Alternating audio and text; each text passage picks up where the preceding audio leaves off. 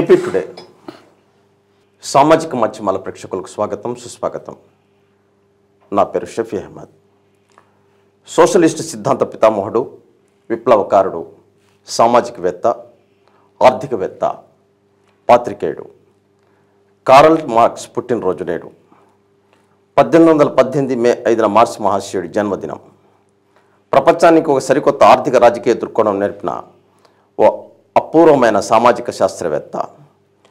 Marks జన్మదినం సందర్భంగా marks మహానీయుడు సాధించిన నూతన విప్లవం తాలూకు అంశాలు ఆయన జీవితంలోని భిన్న కోణాలు విశ్లేషించేందుకు విశాలాంధ్ర పబ్లిషింగ్ హౌస్ సంపాదకులు మార్క్సిజం అధ్యయనకర్త విశ్రాంత వాణిజ్య శాస్త్ర అధ్యాపకులు గడ్డం కోటేశ్వరరావు సోషల్ మీడియా స్టూడియోకి వచ్చి ఉన్నారు వారితో ముఖాముఖి కార్యక్రమాన్ని ఇప్పుడు మీరు చూడబోతున్నారు.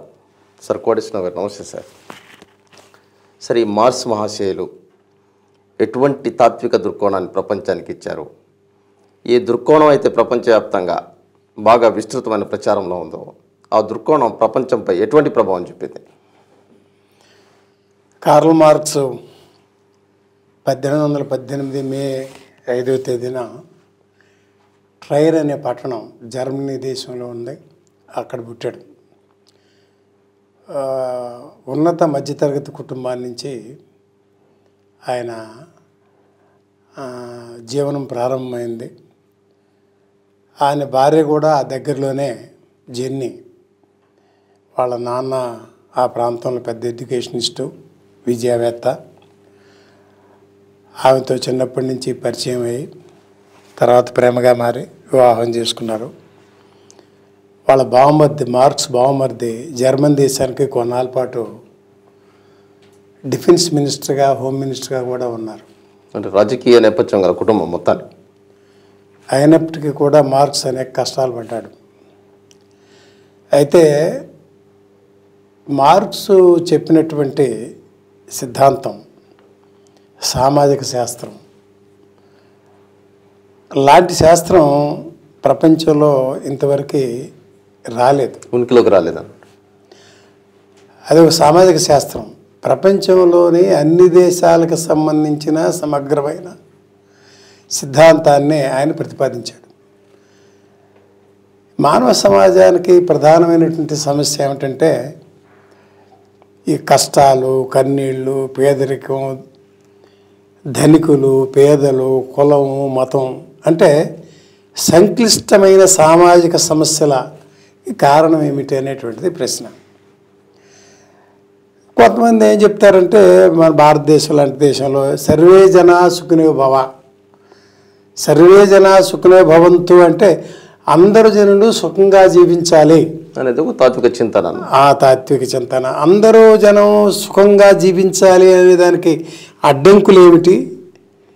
ఎట్లా జీవించడానికి సాధ్యం అవుతుంది అనే దానికి అన్ని రకాలైనటువంటి తత్వవేత్తలు తర్వాత మతాలు జవాబు చెప్పడానికి ప్రయత్నం చేసినాయి. ఉదాహరణకి భారతదేశంలోనే తీసుకుందాం. భారతదేశంలో బౌద్ధ మతం ఈ కష్టాలకి కన్నీళ్ళకి వేదనకి వీటన్నిటికీ కారణం ఏమిటనేటువంటిది గౌతమ్ బుద్ధుడు ఆయన చరిత్రలో మహాపురుషుడు. ఆయన చెప్పాడు కొన్ని. కోరికలు ఆశ ఆయన ఏమన్నాడంటే నాలుగు కారణాలు ఉన్నాయి దుఃఖానికి. ఈ వీటన్నిటినీ కూడా జాగ్రత్తగా పరిశీలన చేసి కష్టాల నుంచి బయటపడటానికి దుఃఖాన్ని నుంచి బయటపడటానికి వ్యయం నుంచి బయటపడటానికి అష్టాంగ మార్గం అనే దాన్ని అనుసరిస్తే అది సాధ్యం అవుతుందని చెప్పేసి ప్రపంచానికి ఆయన సందేశం ఇచ్చాడు. ఆయన చెప్పినటువంటి మతం మత సిద్ధాంతాలు దాదాపుగా వెయ్యి సంవత్సరాలు భారతదేశంలో ఉన్నాయి. కానీ పరిష్కారం కాలే. ఆ మతం క్రమేపీ భారతదేశం నుంచి వెళ్ళిపోయింది. ఇతర దేశాలకు వెళ్ళిపోయింది కానీ మానవ సమాజం ఇంకా కష్టాలను అనుభవిస్తూనే ఉంది. ఆ సమస్యలోనే మగుతుంది తర్వాత ఇతర దేశాల్లో కూడా క్రైస్తవ మతం ఉదాహరణ జీసస్ క్రైస్ట్ కూడా చరిత్రలో పెద్ద పురుషుడు. ఆయన పేదల పక్షాన బానిసల పక్షాన నిలబడి వాళ్ళ తరఫున వాదించి మత రూపంలో ప్రచారం చేసి ఆయన మార్చడానికి ప్రయత్నం చేశాడు సమాజాన్ని. సాధ్యం కాలే. ఆ వేదన అట్లాగే మిగిలిపోయింది. తర్వాత వచ్చినటువంటి భారతదేశంలో హిందూ మతం కూడా ఇస్లాం మతం హిందూ మతం. హిందూ మతం ఈ కారణాలు ఏం చెప్పిందంటే పూర్వజన సుకృత అబ్బాయి నువ్వు పేదవాడిగా ఎందుకున్నావంటే గత జన్మలో నువ్వు పాపం చేసావు గత జన్మలో పుణ్యం చేసావు పాప పుణ్యాలను బట్టి పునర్జన్మ జన్మ ఉంటుంది. తద్వారా ఇప్పుడు కష్టాలు నష్టాలు అన్నీ వస్తాయని అన్నీ భగవంతుడే ఇచ్చి అని చెప్పేసి మానవులకు సంబంధం లేకుండా కర్మ సిద్ధాంతం భగవద్గీతలో కేంద్రమైనటువంటి అంశం అదే. అంటే మానవుడు నిమిత్త మాత్రుడు అన్ని భగవంతుడే చేస్తాడు నువ్వు నిమిత్త మాత్రుడు అని చెప్పేసి వాళ్ళు. అంటే ఏమిటి? సామాజిక వ్యవస్థలో ఉండేటువంటి కష్టాలని పరిష్కారం చేయటానికి చెప్పినటువంటి మార్గాలు ఏవి కూడా పరిష్కారంగా నిలబడలేదు. ఈ మూడు వేల సంవత్సరాల నాగరిక ప్రపంచంలో. అపరిష్కృతంగానే మిగిలిపోయినాయి. అపరిష్కృతంగానే ఉండిపోయినాయి. అందుకని మార్క్స్ ఏమన్నాడంటే philosophers have interpreted history however the point is to change it తత్వవేత్తలంతా ప్రపంచాన్ని గురించి విశ్లేషించారు. బాగానే ఉంది. కానీ అసలు పాయింట్ ఏమిటంటే దాన్ని ఎట మార్చాలి అనేటువంటిదే. నిర్వచనాలు చెప్పడం ప్రపంచాన్ని మార్చడం ద్వారా సామాజిక వ్యవస్థను మార్చడం ద్వారా మాత్రమే సమాజంలో ఉండేటువంటి బలహీనతల్ని దోపిడీని వీటన్నిటిని కూడా ఆ, రూపుమాపడానికి అవకాశం ఉంటుందని చెప్పేసి మార్క్స్ చెప్పాడు ఆయన చరిత్రని భౌతికవాద దృక్కోణం నుంచి పరిశీలన చేశాడు ఈ మూడు వేల సంవత్సరాల చరిత్రని. ఆయన సామాజిక శాస్త్రవేత్త మీరు అన్నట్టుగా పెద్ద విప్లవకారుడు. ఆర్థిక శాస్త్రవేత్త. ఆర్థిక శాస్త్రవేత్త అన్ని ఆయన న్యాయశాస్త్రం చదువుకున్నాడు. తర్వాత అర్థశాస్త్రం చదువుకున్నాడు పాత్రికేయుడిగా పనిచేశాడు. చాలా నికృష్టమైనటువంటి జీవితాన్ని గడిపాడు తిండి లేకుండా.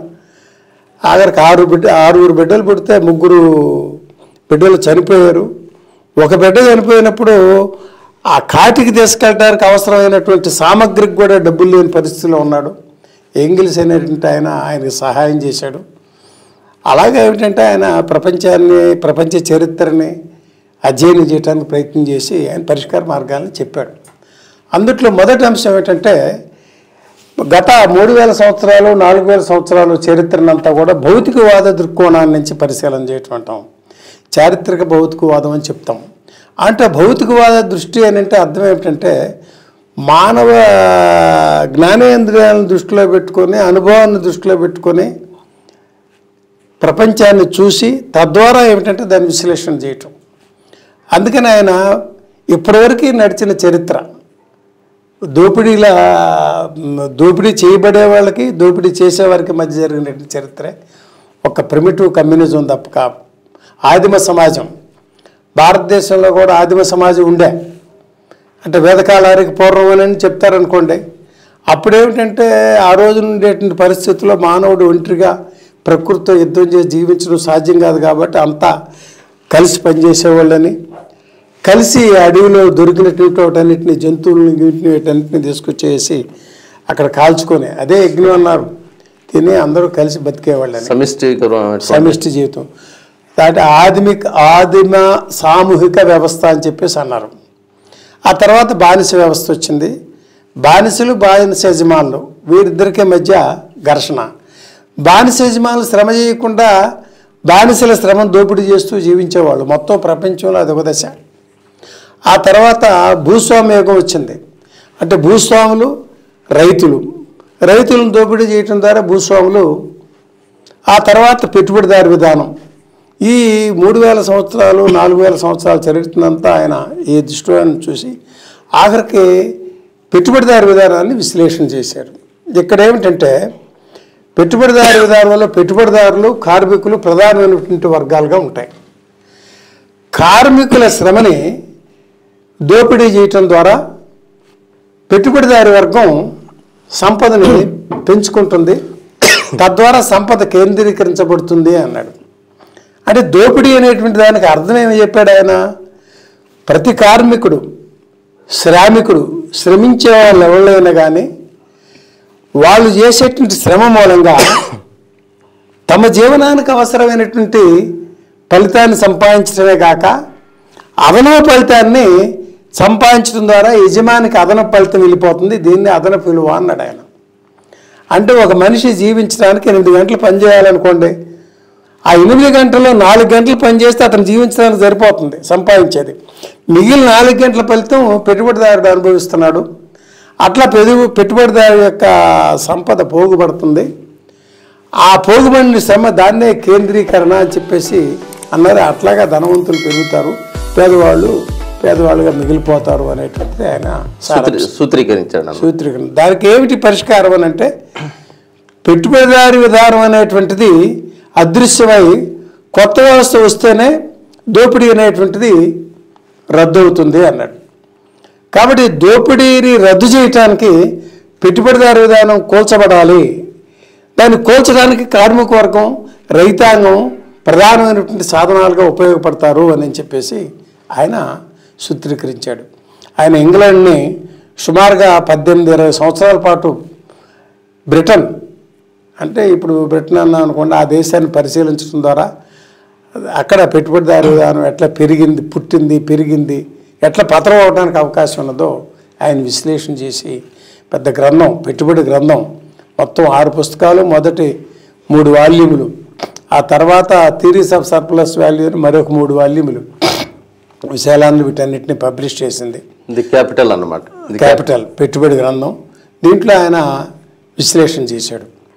ఆ పుస్తకం ఎంత గొప్పదంటే ప్రపంచంలో బైబిల్ అనేటువంటిది ఎక్కువగా అమ్ముడుపోయిన గ్రంథం. ప్రపంచవ్యాప్తంగా. దాని తర్వాత ఎక్కువగా అమ్ముడుపోయిన గ్రంథం పెట్టుబడే. బైబిల్ తర్వాత.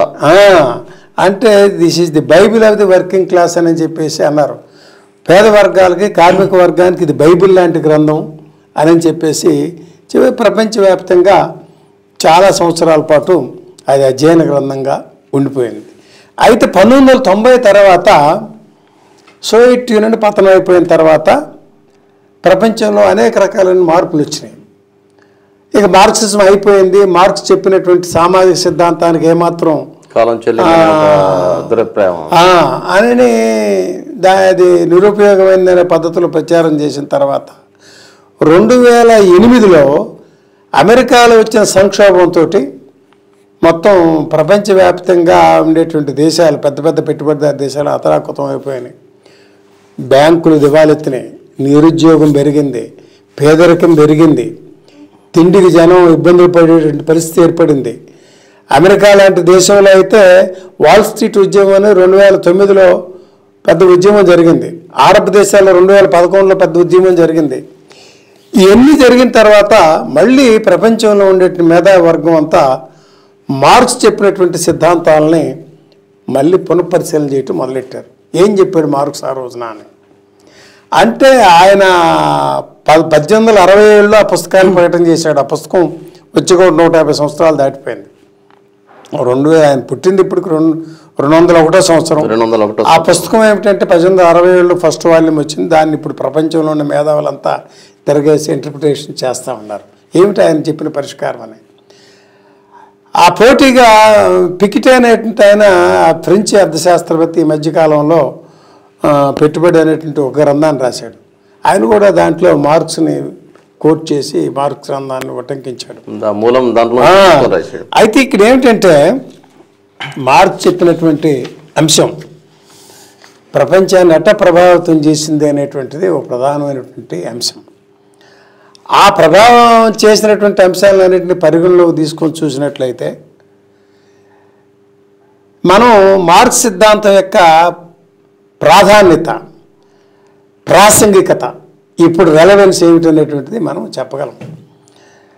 ఏమిటి మార్క్స్ సిద్ధాంతాన్ని ప్రాతిపదికగా చేసుకొని పంతొమ్మిది వందల పదిహేడులో మొదటిసారిగా సోవియట్ యూనియన్లో విప్లవం వచ్చింది?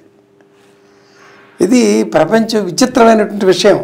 కార్మికులు కర్షకులు రాజ్యాన్ని పరిపాలించినటువంటి చదువు సంధ్య లేని వాళ్ళు ఏలుముద్ర వేసేవాళ్ళు. అంతా ప్రపంచం అంతా ఆశ్చర్యంగా విధంగా అదే నిజమైపోయింది. డెబ్బై సంవత్సరాల పాటు సోవియట్ యూనియన్లో బ్రహ్మాండంగా సోషలిస్ట్ రాజ్యం నిరుద్యోగం చదువు అయిపోగానే వాడికి ఉద్యోగం వచ్చేది కాలేజీలో ఉండగానే వాడికి సీటు వచ్చేది పలానా చోట పోయి ఉద్యోగంలో చేరమని. తిండి కోసం ముఖం వాసిన వాడు లేడు ఆరోగ్యం కోసం ఇబ్బందులు పడిన వాడు లేడు హాస్పిటల్కి వెళ్ళి డబ్బులు కట్టిన వాడు లేడు అందరూ చదువుకున్నారు. సోవియట్లో ఒకనొకప్పుడు పద్దెనిమిది శాతం పదిహేను శాతం మధ్య చదువుకున్న వాళ్ళు ఉంటే సోవియట్లో విప్లవం వచ్చిన తర్వాత లెనిన్ నాయకత్వంలో ప్రథమ సోషలిస్ట్ రాజ్యం ఏర్పడిన తర్వాత మొత్తం సాంస్కృతిక విప్లవం బ్రహ్మాండంగా విద్యార్థులంతా గ్రామీణ ప్రాంతాలకు వెళ్ళి నెలల తరబడి అక్కడ ఉండి అందరికీ చదువు సంధ్యలు నేర్పించారు. అలాగా డెబ్భై సంవత్సరాల పాటు సోవియట్ యూనియన్లో శ్రామిక రాజ్యం వెలసిల్లింది. అంటే మానవ సమాజం కష్టాలు లేకుండా ఇతర పెట్టుబడిదారు దేశాలతో పోలిస్తే ఎట్లా సుఖవంతంగా జీవించవచ్చో సోవియట్ యూనియన్ పెద్ద ఎగ్జాంపుల్ ఉదాహరణ. ఆ తర్వాత పంతొమ్మిది వందల నలభై తొమ్మిది తర్వాత చైనాలో సోషలిస్ట్ రాజ్యం ఏర్పడింది. కమ్యూనిస్టులు అధి అధికారంలోకి వచ్చారు. ఆ తర్వాత వియత్నాం క్యూబా అంటే ప్రపంచంలో గ్లోబ్ మొత్తం ప్రపంచ దేశాల్లో ఒకటి బై మూడో వంతు మార్క్ చెప్పినటువంటి సిద్ధాంతాన్ని అనుసరించి రాజ్యాలు ఏర్పడ్డాయి. ఇది చిన్న విషయం కాదు. ప్రపంచంలో ఒక సిద్ధాంతాన్ని ఆధారం చేసుకొని ఇంత విశాలమైనటువంటి ప్రాతిపదిక మీద రాజ్యాలు ఏర్పడటం అనేటువంటిది గత చరిత్రలో ఎప్పుడు సామ్యవాద దేశాలు కమ్యూనిస్ట్ దేశాలు. అయితే ఇవి కొన్ని పోయినాయి. పోవటానికి కారణాలు అంతర్గతమైన బలహీనతలు బయట బలహీనతలు అనేక రకాలైనవి ఉన్నాయి. అది ప్రధానమైనటువంటి చర్చ కాదనుకోండి. అందుచేత ఏమిటంటే మార్క్సిజం అనేటువంటిది ఇప్పటికి కూడా దాని ప్రాసంగికత. ఇప్పుడు అమెరికా లాంటి దేశాల్లో మరి అమెరికా ఏమిటి? మొత్తం ప్రపంచంలో ఉండేటువంటి పెద్ద పెద్ద పెట్టుబడిదారు దేశాల్లో మా ఫైనాన్స్ క్యాపిటల్ అంటే ద్రవ్య పెట్టుబడి పెత్తనం చేస్తూ ఉంది. అంటే మన దేశం లాంటి దేశంలో కేవలం రెండు శాతం గుత్త కోటీశ్వర్లు పెద్ద పెట్టుబడిదారులు బడా పెట్టుబడిదారులు అంటాం. వాళ్ళు మన సంపదలో ముప్పై ఒకటి బై మూడు వంతు భాగాన్ని రెండు శాతం కుటుంబాలు అనుభవిస్తూ ఉన్నాయి. అటు ప్రపంచాన్ని తీసుకొని చూసినట్లయితే ఒక వెయ్యి పెద్ద బహుళజాతి కంపెనీలు వెయ్యి. ఆ బహుళజాతి కంపెనీలు మొత్తం ప్రపంచ సంపదలో సగభాగాన్ని వాళ్ళు ఆక్రమించి వాళ్ళు పెత్తనం చేస్తా ఉన్నారు అంటే కొన్ని దేశ కొన్ని దేశాల్లో ఉండేటువంటి బహుళజాతి కంపెనీల ఆస్తులు ఒక దేశం యొక్క జాతీయ ఆదాయంతో సమానంగా ఉన్నాయి. ఇప్పుడు మన దేశంలోనే అంబానీ ఆస్తిని తీసుకున్నట్లయితే మన పెట్టుబడి కన్నా ఎక్కువనే ఆంధ్రప్రదేశ్ పెట్టుబడి అంటే సంవత్సరం బడ్జెట్ దాదాపు లక్ష డెబ్బై వేల కోట్లు అయితే వాడు ఆదాయం అంతకన్నా మించి ఉంది. వాడు సంపద అంతకన్నా ఎక్కువ ఉన్నది. వీళ్ళంతా ఎట్లా వచ్చారు? అంబానీ తండ్రి చిన్న బడ్డి కొట్టు పెట్టుకొని బయటకు వచ్చినాడు కదా. ఎలాగ సంపాదించాడు? అలాగే అదాని గుజరాత్లో ఉన్నాడు. ఆయన సంపాదించాడు?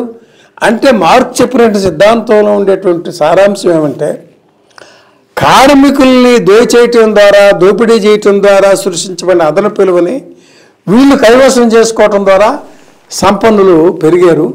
ఈ సంపన్నులు ఒక దశ వరకే పెరుగుతారు. ఆ తర్వాత పెరగడానికి అవకాశం ఉండదు. కార్మిక వర్గం రైతాంగం సమాయత్తమై చైతన్యవంతులైతే ఈ వర్గాన్ని కూలదోసి అధికారాన్ని హస్తగతం చేసుకుంటారు అనేటువంటిది ఆయన సిద్ధాంతం. ఈ రష్యా పరి- పరిణామాలు రుజువు చేసేదాన్ని. ఆ రష్యా అంటే మిగిలినటువంటి ప్రపంచంలో ఉండేటువంటి దేశాలు వియత్నాం తూర్పు ఐరోపా దేశాలు. తూర్పు ఐరోపా దేశాలు అంటే ఇప్పుడు అవి చాలా దేశాల్లో మార్పులు వచ్చినాయి. అయితే ఏమిటంటే ఇంకా చైనా వియత్నాం క్యూబా క్యూబా చాలా చిన్న దేశం. ఆ చిన్న దేశంలో ఆరోగ్యానికి దిగులు లేనటువంటి పరిస్థితి ఉన్నది. విచిత్రమైన దేశం. అక్కడ వాళ్ళకి ఒకటి రెండు పంటలే అందరిలో ప్రధానంగా చెరుకే. ఆ చెరుకు మీద ఆధారపడి ఆ జీవితం ఆ దేశం బతుకుతూ ఉంది. చిన్న దీవి అమెరికా పక్కన. డెబ్బై కిలోమీటర్ల దూరంలో అమెరికాకు ఉన్నది. అమెరికా కావాలనుకుంటే ఎప్పుడంటే అప్పుడు ఒక నిమిషంలో దాన్ని కూల్చేయచ్చు కానీ అమెరికా సాహసించటంలే. ఎందుకని ఆ దేశంలో ఉండే ప్రజలు ఆ ప్రజలకు ఉండేటువంటి శక్తి స్తోమతలు దాన్ని అనుకుంటే పార్టీ పోరాటశీల పోరాట శక్తి ఇవన్నీ కూడా ఆ దేశాన్ని నిలుపుతూ ఉన్నాయి.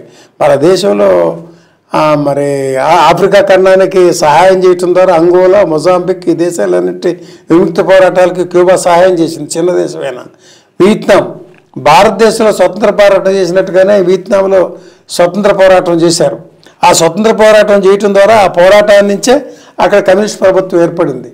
అమెరికా హోచిమన్ భారతదేశంలో మనం మహాత్మా గాంధీని ఎట్లా అనుకుంటున్నాము వియత్నాంలో హోచిమన్ని మహాత్మా వాళ్ళ దేశం గాంధీ అని జాతిపితగా అనుకుంటారు. అంటే ఇవన్నీ కూడా మార్క్సిస్టు సిద్ధాంతాల ప్రభావమే. ఇప్పుడు కూడా ప్రపంచ దేశాల్లో రెండు వందల ఇరవై దేశాలు పైచీలకు దేశాల్లో కమ్యూనిస్ట్ పార్టీలు ఉన్నాయి. అంటే విభేదాలు లేవంటే పార్టీలు విభేదాలు ఆ రోజు పరిస్థితులను బట్టి ఈ సమాజాన్ని మార్పు చేయడానికి ఉండే మార్గాలను అన్వేషించడంలో విభేదాలు. అట్లా విభేదాలు ఉన్నాయి. అయినా ఏ దేశంలో ఏ ఏ సిద్ధాంతం కూడా ఒకే రకమైన పద్ధతిలో ఇన్ని దేశాల్లో ఒక పార్టీలు ఏర్పాటు చేయటం అనేటువంటిది చిన్న విషయం కాదు. ఇది మార్క్స్ యొక్క గొప్పతనం. ఆ మహానుభావుడు పద్దెనిమిది వందల ఎనభై మూడు మార్చి పద్నాలుగు తేదీన చనిపోయాడు. ఆయన రాసినటువంటి పుస్తకాల్లో ఇప్పటికీ అందరూ అధ్యయనం చేస్తున్న పుస్తకాల్లో పెట్టుబడి తత్వశాస్త్రానికి సంబంధించిన పుస్తకాలు అందుట్లో మొదట్లో చే రాసినటువంటి పుస్తకం పద్దెనిమిది వందల నలభై ఎనిమిదిలో కమ్యూనిస్టు ప్రణాళిక అని అది చిన్న పుస్తకమే వంద పేజీల లోపు పుస్తకం. అది ఇప్పటికీ ప్రపంచాన్ని ప్రభావితం చేస్తూనే ఉంది పెట్టుబడి గ్రంథంలాగా. అలాగే తత్వశాస్త్రాన్ని గురించి ఆయన పుస్తకాలు రాశాడు. చాలా పుస్తకాలని రాశాడు. ఆయన అరవై ఏళ్ళ జీవితంలో అరవై అరవై సంవత్సరాలు సుమారుగా బతికారు. దాంట్లో దాదాపుగా ఇరవై ఐదో సంవత్సరాల నుంచి ఆయన ఈ దీంట్లో ఈ మానవ సమాజానికి సేవ చేయటంలో వర్కింగ్ క్లాస్కి సేవ చేయటంలో ముందుండి రాశాడు. ఆయన కావాలనుకుంటే పిహెచ్డి కూడా చేశాడు డాక్టరేట్ ఇప్పుడు అయినా ఆయన వీటన్నిటిని ఉద్యోగాన్ని గురించి వీటన్నిటిని గురించి పెద్ద ఇబ్బంది పడలా. ఎందుకు మనం మన మార్గం ఇదని చెప్పేసి ఆయన ఇట్లాగా. అలాగే ఆయన ఏం దేశం ఏ దేశానికి వెళ్ళినా కానీ ఆ దేశంలో విప్లవం పద్దెనిమిది వందల నలభై ఎనిమిదిలో ఫ్రాన్స్లో విప్లవం వచ్చింది. ఈ మార్క్స్ ఎక్కడ ఉంటే అక్కడికి పిలుపు విప్లవం వస్తుందని చెప్పేసి ఆ దేశాల నుంచి బహిష్కరించారు. అట్లాగే ఐరోపాలో ఉండే చాలా దేశాల నుంచి ఆయన బహిష్కరిస్తే ఆఖరికి ముప్పై సంవత్సరాల పాటు ఆయన ఇంగ్లాండ్లోని స్థిరపడి అక్కడే ఈ పుస్తకాలను రాసి అక్కడే చనిపోయాడు. పద్దెనిమిది ఎనభై మూడు మార్చి పద్నాలుగో తేదీన. ఇంగిల్స్ అనేటువంటి ఆయన ఆయనకి సహాయం చేశాడు. ఆయనకి ఇప్పుడు అండగా ఉన్నాడు. అలాగే ఈ నికృష్టమైన పేదరికాన్ని అనుభవిస్తున్నప్పుడు కూడా ఆయన చెప్తాడు ఒకసారి మార్క్స్. నేను ఈ పుస్తకం రాసేటప్పుడు వాడిన ఆయన సిగరెట్లు దాకేవాడు చుట్టలు. ఆయన వాడిని ఈ దీనికైన ఖర్చు కనీసం ఈ పుస్తకాలకు వస్తుందా అని. ఆ పుస్తకాలను ముద్రించడానికి మొదట్లో ఎవరు ముందుకు రాలే. ఈ పెద్ద మహద్గ్రంథాలు అనేటువంటి తర్వాత తర్వాత వేలల్లో లక్షల్లో అమ్ముడు పోని అనుకోండి.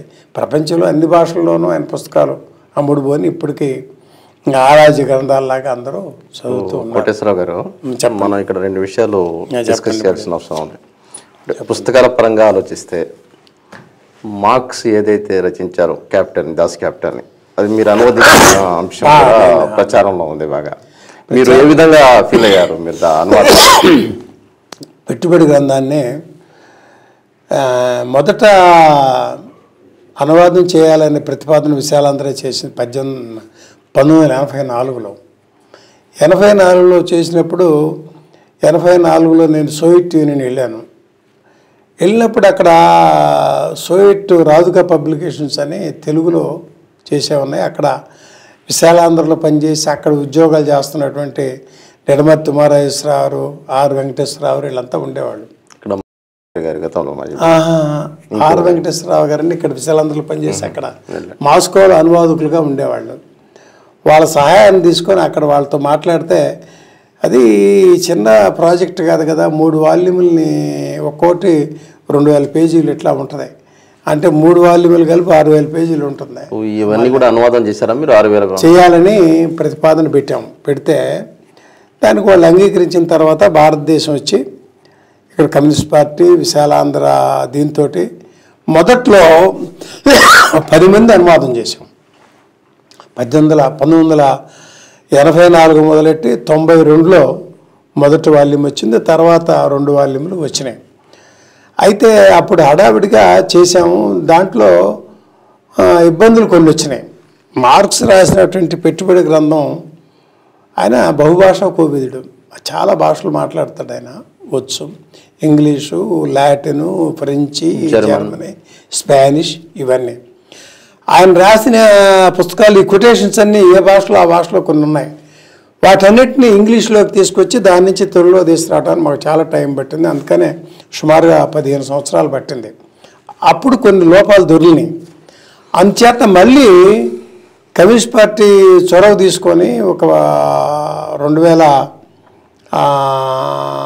ఎనిమిదిలో చొరవ తీసుకొని మళ్ళీ దీన్ని పునర్ముద్రించాలని చెప్పేసానంటే మన ప్రొఫెసర్ నానపనేని అంజీ గారు తర్వాత నరసింహరావు గారు ప్రొఫెసర్ రావు కృష్ణరావు నేను ఇట్లాగా ఐదుగురితో కమిటీని వేసాం ఇడుపుగడ్డ నాగేశ్వరరావు. అయితే ఆఖరికి వచ్చేటప్పటికి ఇది అందరూ దీన్ని రివిజన్ చేయడానికి ఇద్దరమే మిగిలిపోయాం. మిగిలిన వాళ్ళు సలహాలు అది ఇచ్చారు. నేను రావు కృష్ణరావుని కాకినాడ. మేమిద్దరం ఈ మూడు పుస్తకాలని రివిజన్ చేసాం ఐదున్నర సంవత్సరాలు పట్టింది. ఐదున్నర సంవత్సరాలు రోజు ఏడెనిమిది గంటలు పనిచేసే బాగానే వచ్చింది.